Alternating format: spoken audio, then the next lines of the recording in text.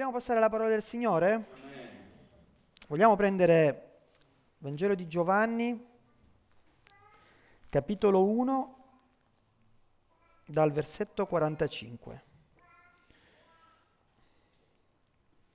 Amen? Amen? Giovanni è facile da trovare.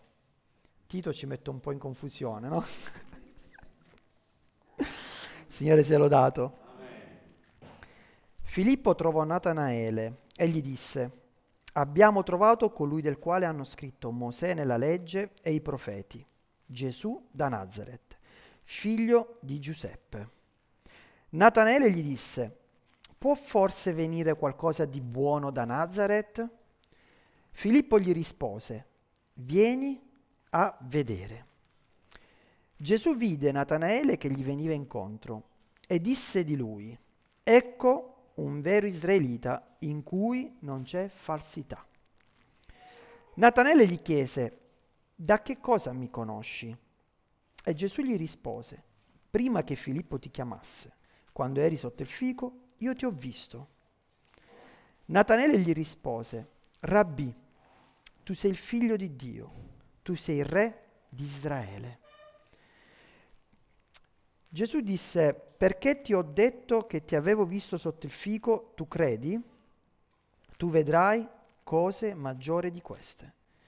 Poi gli disse, in verità, in verità vi dico che vedrete il cielo aperto e gli angeli di Dio salire e scendere sul figlio dell'uomo. Amen. Fin qui la parola di Dio. È un eh, racconto breve, ma in questa brevità, in questo incontro, vediamo un cambiamento, vediamo una, un ravvedimento, un ravvedimento nello, spe- nello specifico di giudizio.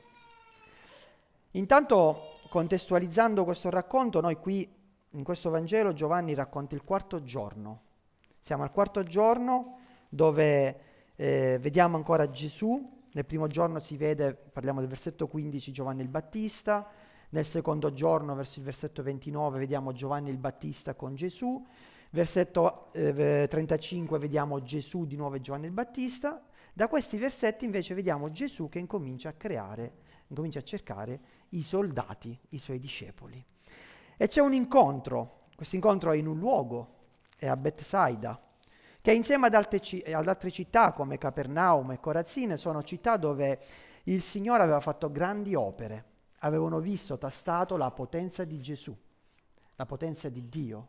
Ma queste città non hanno aperto il loro cuore. Se andiamo a leggere il Vangelo di Luca su queste città, su questi luoghi, nonostante avessero veramente visto miracoli potenti, non si sono ravveduti. Su questa città, sto fermo? O su questa città, su Bethsaida, pensate che talmente è caduta, così come fu la profezia di Gesù, la distruzione, che non sappiamo più dove sia, dove è localizzata. Perché molte volte non apprezziamo e non riconosciamo quello che Dio fa nella nostra vita. Quindi vediamo in questo racconto che c'è questa città, una città dove è nato Filippo, Andrea, quindi la città natale anche di discepoli. E vediamo che in questa città c'è questo racconto. Ci sono due incontri. Il primo incontro, come abbiamo letto, è tra Filippo e Natanaele. Il secondo incontro è tra Gesù e Natanaele. Nel primo incontro vediamo che si contrasta un po' la gioia di chi ha conosciuto Gesù. Quando noi conosciamo Gesù, soprattutto le anime nuove, hanno un entusiasmo forte, sono un fuoco, sono i, i, i migliori pescatori di anime, perché non, non, non, li, non li, tieni, eh, divampano, hanno questa gioia di mostrare che cosa ha fatto Gesù nella loro vita e senti anche nella semplicità, anche eh, nella non completezza del messaggio, no? Perché Filippo non era molto completo, no? Presenta Gesù come il figlio di Giuseppe. Doveva ancora capire chi era il padre di Gesù letteralmente, fisicamente, spiritualmente. Eh, però nella semplicità porta questa notizia. Abbiamo trovato il Messia. E questa gioia viene subito contrapposta, viene quasi lottata. E questo succede anche nelle nostre vite. A volte facciamo un'esperienza con il Signore, a volte conosciamo il Signore, a volte il Signore magari ci libera, ci benedice, portiamo questa gioia e a volte ci scontriamo contro un qualcosa che quasi quasi ci spegne. Quasi quasi dice, mamma mia, mi aspettavo che il fuoco fosse alimentato, no? Ma molte volte non è così. Filippo si presenta a Natanaele, Natanaele usa un qualcosa quasi di dispregiativo, usa il pregiudizio. Può venire qualcosa di buono dalla Galilea? È pesante, è, è quasi come mettere un marchio di insufficienza per quel territorio. In quel territorio non può venire nulla. E Natanaele apparentemente ha anche delle condizioni per poterlo dire, che Natanaele ha studiato la parola e sapeva che il Messia doveva venire da Betlemme, dalla Giudea, quindi non può venire dalla Galilea. Anche nella cultura che viveva, probabilmente si aspettava che il Messia non era il figlio di Giuseppe il falegname, ma un re, un principe, un comandante. E molti pensavano che doveva essere liberato Israele dai Romani, vuoi che mo viene il figlio del falegname, della regione più sottovalutata di tutti, la Galilea, a venire a fare il Messia, l'unto? Che stai a di Filippo? Questo è il pregiudizio, pregiudizio che Natanaele mette davanti alla gioia che Filippo gli voleva trasmettere. E la prima annotazione che dobbiamo prendere nella nostra vita è che cos'è il pregiudizio. Perché il pregiudizio è veramente difficile da lottare. Voi pensate che Dio dà il suo Santo Spirito non solo per farci ravvedere dal peccato. Lo Spirito Santo nella nostra vita ci compunge di peccato, giustizia e giudizio. Quindi è un qualcosa che solo Dio può fare. E su questa cosa siamo d'accordo non solo noi credenti, ma anche nel mondo esterno. Si è pienamente convinti, soprattutto nell'ambito anche della filosofia, che il pregiudizio non può essere tolto. Il pregiudizio è la tua identità. Come fai a toglierla? Non puoi toglierla. Ma la Bibbia ci risponde, è necessario che tu nasca di nuovo. La tua vecchia identità di peccatore è morta. Sei un uomo nuovo. Quindi è vero, è difficile togliere il pregiudizio, perché c'è la cultura, sei un filtro, hai preso tutto quello che ti hanno insegnato, vivi in una società dove ormai non riusciamo nemmeno più a dialogare, viviamo in una società dove deve prevalere l'opinione al di là della verità, al di là di quello che, che può essere il concetto di è giusto e sbagliato. Viviamo in questa società, si è perso il principio fondamentale che è veramente la verità. A noi interessa il nostro giudizio, quello che ci hanno insegnato, quella è la verità che voglio portare. E Natanaele portava quella verità. Dice no, non può essere il Messia. E quasi quasi questo, ehm, questo suo pregiudizio, questo suo filtro poteva fargli perdere tutto quello che c'era davanti alla sua vita. Però Filippo risponde in un modo stupendo. Due parole. Le parole di Filippo sono per la nostra vita un insegnamento. L'avete anticipato nelle testimonianze, no? Molte volte non dobbiamo parlare tanto, convincere, fare trattati teologici, studi biblici. Vieni e vedi. Due parole. Vieni e vedi. Queste parole sono state delle parole che tuttora sono parole che vengono rimarcate, ci sono quotidiani evangelistiche in Francia, ci sono chiese, perché sono state due parole che nella storia di Natanaele, nella nostra vita, ci insegnano una cosa molte volte bisogna fare vedere quello che Dio ha fatto nella nostra vita. Piuttosto che metterci a discutere, a dialogare, a perderci in eh, vani ragionamenti, facciamo vedere quello che Dio ha fatto nella nostra vita. E Filippo dice solo queste due parole, vieni e vedi. È un invito. Ovviamente Natanaele poteva rifiutare Poteva ancora rispondere sì, ma a me non importa perché io so che non è così, tu sei sbagliato, tu ti stai illudendo. Tu mi ricordo un po' la frase che una volta mi disse Antonio quando si è convertito, sei passato dalla brace alla padella, no? Quando il fratello gli parlava di Gesù, eh, il, eh, il, pastore si trovava ancora nella tossicodipendenza e diceva sì, tu stai passando dalla padella alla brace. E questo è un pregiudizio perché uno idealizza quella cosa con i propri pensieri, con la propria cultura. Ma quando arriva il Signore, c'è veramente una nuova nascita ti cambia totalmente. E questo processo è un processo che nella nostra vita avviene continuamente. Molte volte dobbiamo ravvederci. Io ringrazio Dio perché nonostante il mio cuore a volte è duro, non si stanca a farmi ravvedere di giudizio, di giustizia, di peccato e ci lavora col mio cuore. A volte mi chiudo, eh no, eh, tu, tu, e busso il Signore, io busso, busso, busso. E noi molte volte veramente dobbiamo essere grati al Signore perché ha una pazienza che è inimmaginabile per la nostra vita. E in, questa, in questo contesto eh, Natanaele in un certo senso apre una breccia. Noi nel nostro cuore possiamo aprire diverse brecce, diversi spazi. Li possiamo aprire per il Signore e ci facciamo lavorare da Dio o li possiamo aprire per il peccato. In ogni caso, quando si apre una breccia, è buono che quella breccia sia messa sotto il sangue di Gesù. Perché se non è una breccia che si apre per il Signore, è una breccia che si apre per il nemico. E quando entra il nemico non si accontenterà solo della breccia, ma piano piano prenderà tutta la fortezza. Ed è quello che invece dobbiamo far fare al Signore. A volte noi presentiamo Gesù pensiamo di non aver fatto nulla, come si è detto nelle testimonianze, dice vabbè ma non so manco se la persona che è di là mi può capire.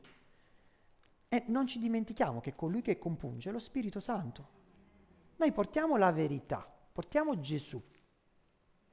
Il resto lo fa il Signore. E quella breccia che si aprirà avrà un frutto, perché lo Spirito Santo sa quello che deve fare. Natanele apre questa piccola breccia e va verso Gesù. In un certo senso si sente incuriosito.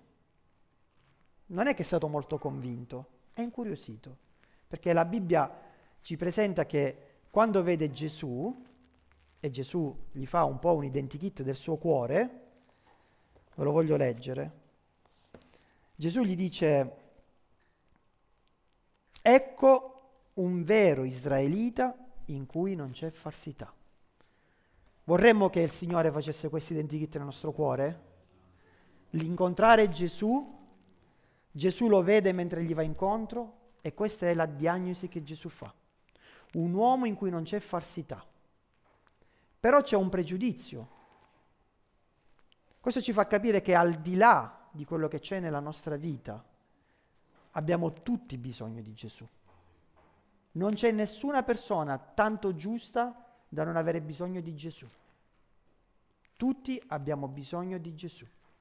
Natanele non era Giacobbe, non era l'imbroglione, ma comunque aveva necessità di Gesù, perché doveva capire chi aveva davanti e chi poteva salvarlo. E Natanele si vede che ha un po' da ridire da come risponde, perché gli chiede un po', gli fa una domanda un po', un po' strana, che però sarebbe spontanea per noi, no? Se una persona non ci conosce e ci chiede, ecco, un uomo in cui non c'è falsità, dice, ma da che cosa mi conosci? Da che cosa l'hai detto che non, che non c'è falsità in me? Quindi inizia una conversazione diversa. Se con Filippo è stata una conversazione di demandare, Filippo l'ha mandata a Gesù. Guardate bene i ruoli. Noi siamo chiamati a portare la gente a Gesù. Poi è Gesù che lavora i cuori, è Gesù che parla con quel cuore, è lo Spirito Santo che va a vedere quello che deve fare, quello che c'è da lavorare. Non siamo noi. Noi portiamo Gesù. È lo Spirito Santo che nei suoi tempi, nei suoi modi, fa la sua opera e la porta a compimento. È una conversazione diversa, più intima. Perché da questo momento in poi Gesù gli risponde in un modo che ha un significato spirituale importantissimo. Perché se non analizziamo la risposta di Gesù, sembra quasi strano come Filippo e come Natanaele, da che non credeva a Gesù, al che riconosce Gesù come re, come figlio di Dio. Che è successo in questa conversazione? Che cosa ha capito Natanaele in questa conversazione? Cioè, ha conosciuto Gesù meglio di Filippo, perché non l'ha chiamato più il figlio di Giuseppe. Non è più il figlio del falegname. Sì, è il Messia, Mosè ne hanno scritto, il profeta, ma è il figlio di Giuseppe. No. L'ha identificato subito come il figlio di Dio. Il re di Israele. E l'ha chiamato Rabbi, che è una massima espressione per dire maestro. Ma che è successo in questa conversazione? Che, co- che cosa ha percepito? Fratelli, a me questo verso mi ha, mi ha colpito tanto che sono andato anche a studiare i termini specifici greci per non perdere nulla, che volevo capirlo. Ho detto che cosa è successo? Detto, cioè, Gesù dice apparentemente una cosa che sì, mi hai visto sotto il fico, magari ero nascosto, magari nessuno lo sapeva, però mh, apparentemente non sembra che gli abbia detto chissà che, o no? C'è un significato che va al di là di questa frase secondo voi o no? Ed è incredibile che andando a vedere i verbi che sono usati in questa espressione, dietro c'è veramente tutta la potenza che aveva Gesù e che ha il Signore ancora oggi. La conversazione che c'è tra Gesù e Natanaele, quando Gesù risponde prima che Filippo ti chiamasse, quando eri sotto il fico, io ti ho visto. Ci sono due termini importanti, non vado nelle parole greche ma vi faccio un riassunto perché non voglio stancarvi.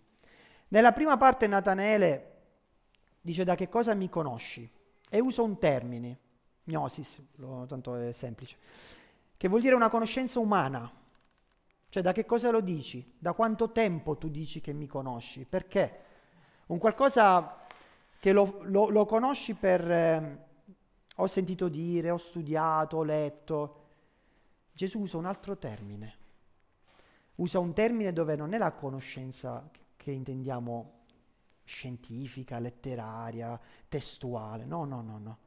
È una conoscenza basata sulla relazione. E il termine che usa Gesù è un termine molto forte. Questo ve lo voglio dire perché secondo me rende l'idea.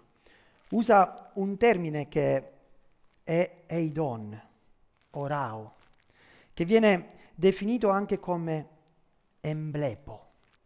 Che cosa vuol dire, fratelli? Vuol dire che en, dentro, blebo, guardato. Io ti ho guardato dentro, prima ancora che Filippo ti chiamasse. Io ti ho guardato dentro io ho una relazione con te. Io so quello che tu hai fatto, perché io ti guardo dentro. E anche l'espressione sotto il fico. Probabilmente Natanele si trovava lì a meditare, a pregare, io non lo so. Mi piace pensare che stesse leggendo la Bibbia e che stesse leggendo anche un verso in particolare della Bibbia, perché per come gli risponde dopo il Signore, secondo me c'è stata una relazione in quello che lui si è sentito un po' ma come fa a sapere quello che io stavo pregando? Come fa a sapere quello che io stavo meditando? Beh, questo è un mio pensiero. Ma quello che dice la Bibbia è che Gesù si presenta come colui che guarda da dentro. E l'espressione di essere sotto il fico in ebraico ha un significato molto importante. Salomone ce lo ripete varie volte, di essere protetti sotto la propria vite e sotto il proprio fico. È un'espressione di custodia, un'espressione di dimora, dimorare a casa, dimorare in famiglia. E quello che mi ha colpito molto, collegando un po' i significati ebraici, un po' il termine greco, è che come se il Signore stesse dicendo, prima che Filippo ti venisse a chiamare, io ti ho guardato nella mia dimora, io ti ho visto io so. Io penso che Natanaele, presentato da Gesù come un uomo in cui non c'è falsità, in quel periodo storico non stesse vivendo bene.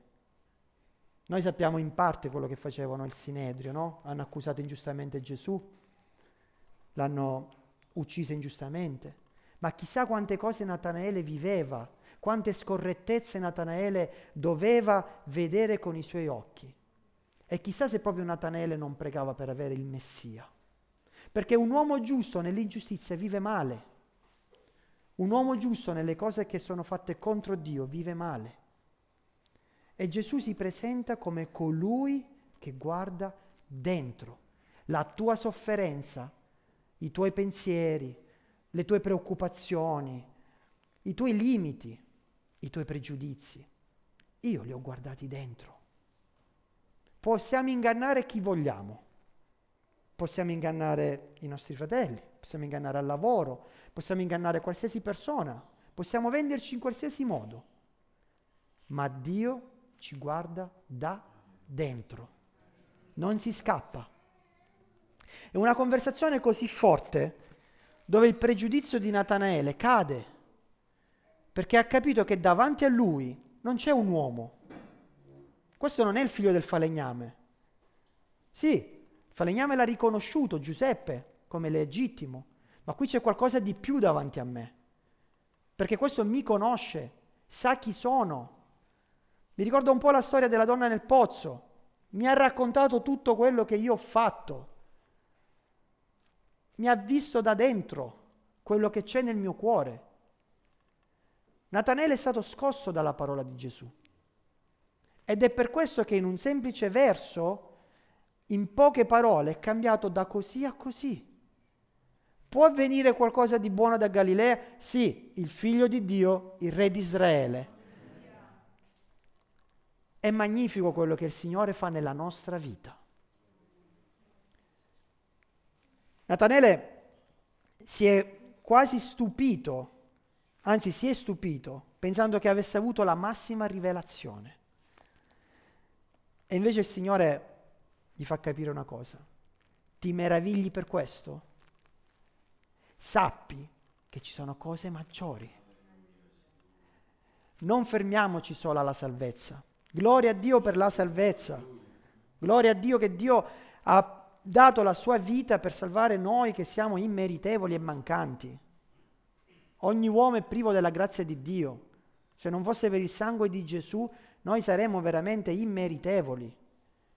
E lui rimane fedele con noi in ogni circostanza, perché non può rinnegare il suo nome.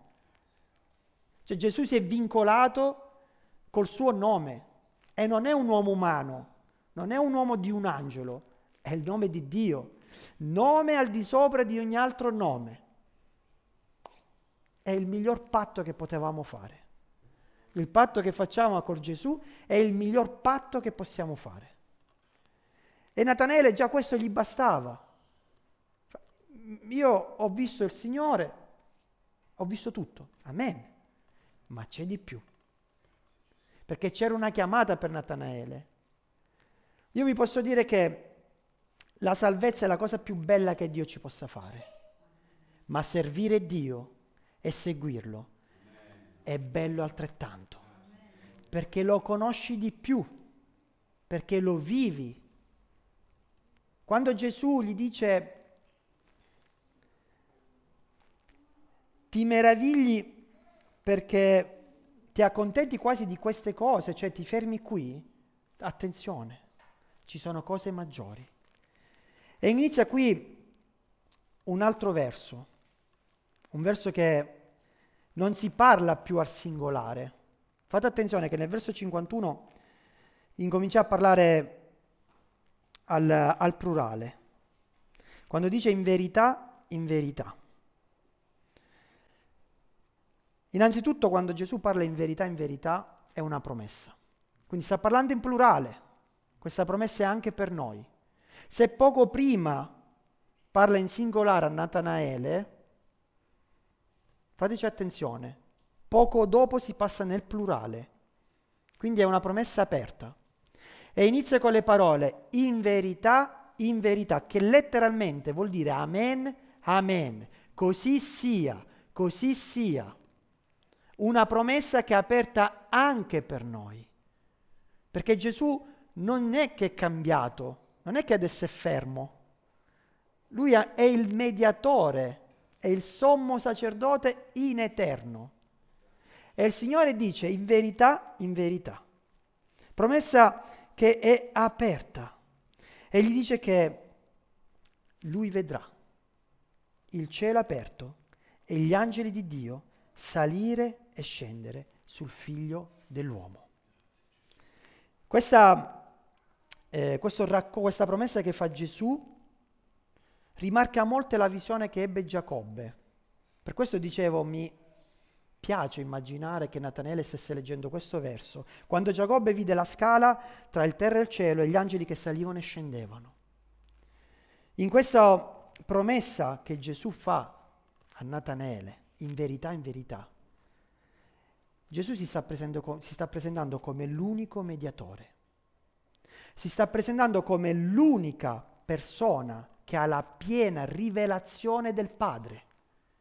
Gesù ha portato la piena rivelazione di Dio. Ed è l'unico che può dire chi ha visto me ha visto il Padre.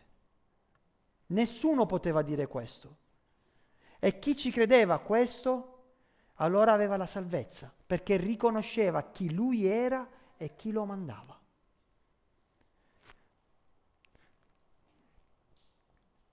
Gesù gli sta dicendo a Natanaele che il percorso con Cristo è un percorso che va sempre di benedizione in benedizione. Gli angeli che salgono e scendono. Vi ricordo che gli angeli sono dei messaggeri. Noi entriamo all'interno del mondo spirituale di Dio, che è un mondo fatto di comunicazione. Gesù ci dà la possibilità, tramite anche lo Spirito Santo, di entrare in comunicazione con il Padre. Riconosci Gesù, non ti accontentare di questo, e inizia a comunicare, perché qualsiasi cosa tu chiederai nel nome di Gesù ti sarà dato. Qualsiasi cosa che domanderete vi sarà dato, perché vi si è aperto il cielo. Credere in Cristo Gesù vi mette in una condizione di aprire il cielo. Lo vogliamo il cielo aperto nella nostra vita? Quante volte preghiamo, apri il tuo cielo, manda la tua pioggia, la tua rugiada? Credi in Gesù, perché Gesù ci conosce da dentro. Gesù non si limita a dire hai sbagliato con me, hai chiuso. Gesù prima ancora che ti chiama, ti conosce. Non puoi stupire Gesù né in negativo né in positivo perché Egli è onnisciente. E quando sbagliamo, se pensiamo che lo sbaglio non può essere perdonato, stiamo commettendo peccato contro la croce. Perché è come se la croce quel peccato non lo può cancellare. È come se la croce fosse quasi insufficiente. Invece la croce è sufficiente per cancellare ogni peccato. E quando Gesù ha chiamato la nostra vita, Lui ci ha conosciuto, Lui sa chi siamo.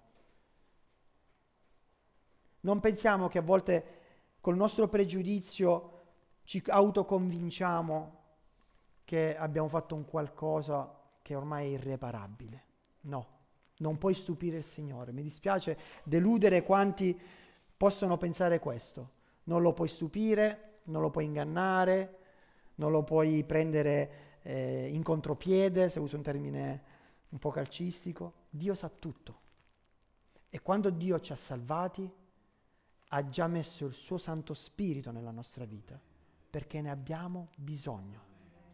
Ogni giorno dobbiamo convincere la nostra vita di giudizio, tanto più in questa società, tanto più in questo mondo dove viviamo, che si crea sempre l'intenzione nei secoli, nei secoli, di creare una finta unione.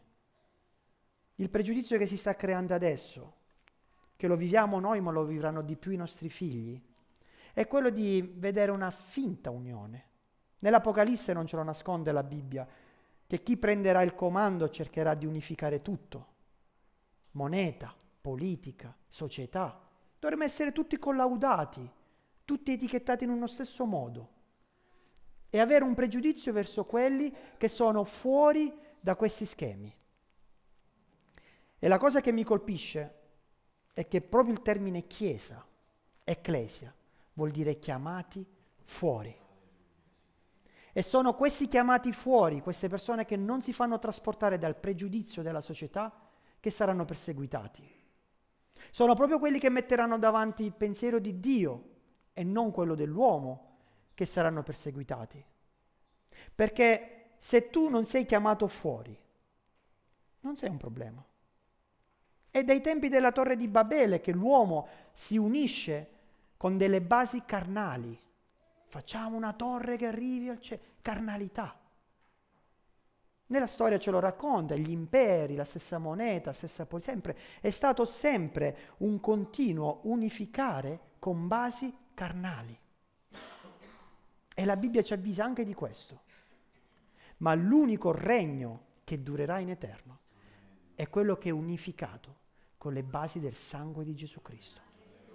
I legami che abbiamo noi non sono legami di, di, di, di fisicità, di parentela, sono legami spirituali, eterni. Noi vivremo nell'eternità come un unico popolo nella parola di Dio non c'è etnia, non c'è razza, non c'è stato sociale. Andate a vedere la prima chiesa, la chiesa di Antiochia, Antiochia. C'era una diversità pazzesca. Davanti a Dio esiste una sola razza, umana, che ha creato. E lo scopo di questa razza è adorare Dio. Lontano da Dio siamo persi.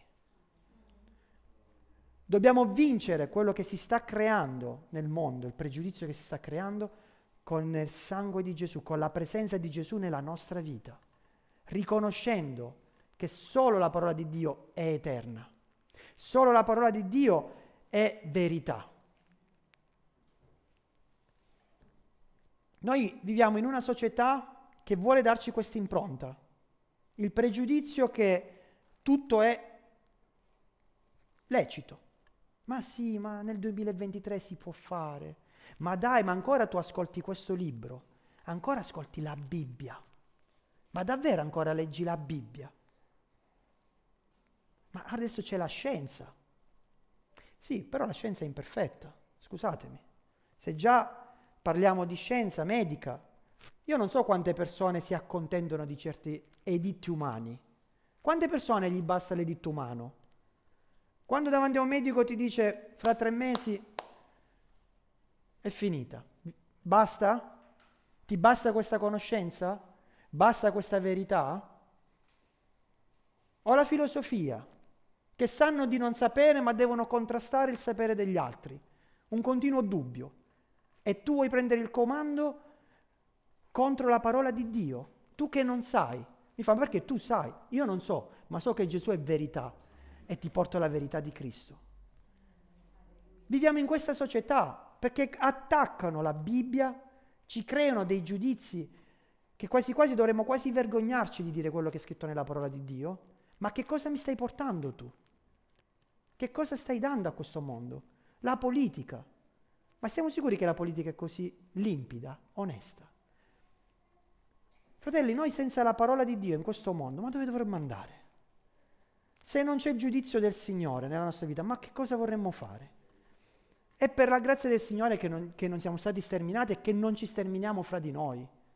Che pregiudizi ci, ci dovremmo acquisire dal mondo? È per questo che Gesù ha fondato l'Ecclesia, i chiamati fuori. Lascia perdere le cose del mondo, che non vuol dire non parlare con la gente del mondo, perché noi dobbiamo convertirla, ma non ti associare a quello. Non ti associare al pensiero, che i pensieri cambiano negli anni, ma la parola di Dio è ferma. Noi non siamo chiamati a fare dei compromessi. E mo diluisco un po' la parola perché in questa società mi fa pure comodo. No, perché la parola è vita. Quando noi parliamo, non parliamo di noi stessi. Il nostro giudizio non è un giudizio di Luca. Se fosse un giudizio mio, un giudizio di Antonio, un giudizio di Giancarla, sarebbe un giudizio quasi inutile. Noi parliamo del giudizio che ha Dio per noi e per il mondo. dei pensieri che Dio ha per noi. E la Bibbia dice che Dio ha pensieri di bene. Vogliamo essere come Natanaele, farci stupire dalla parola di Dio e vogliamo anche a volte metterci in una posizione di ravvedimento, di giudizio. Perché non è sbagliato ravvedersi, anzi è la cosa più bella che possiamo fare. Vogliamo a volte metterci in discussione e dire Signore, io la pensavo così, ma adesso tu mi hai fatto vedere che c'è di più. Vogliamo vivere questo cristianesimo, perché per Natanaele, dal momento in cui ha abbandonato il suo pregiudizio, quello che lui aveva studiato, aveva imparato, quello che lui viveva, da lì, dall'abbandonare quello, è iniziato un percorso con cose migliori. Amen? amen, amen. Vogliamo andare in preghiera, vogliamo